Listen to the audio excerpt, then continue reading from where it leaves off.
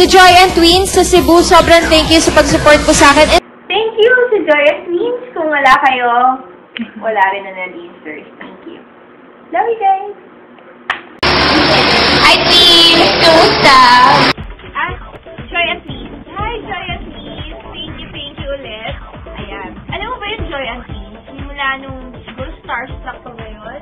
Starstruck na andyan na talaga sila. Oo, sobrang support na talaga sila. Joy and Twins. Sila yung taga Cebu na sobrang, ah, laging sila na andyan para sa akin. Sila yung tagapagtanggol ko, lagi. Tapos tuwing pupunta ako sa Cebu, lagi nila ako meet up. Talaga? Sobrang, Wow. sobrang sweet ng dalawang yun. Ah, Joy and Twins, salamat!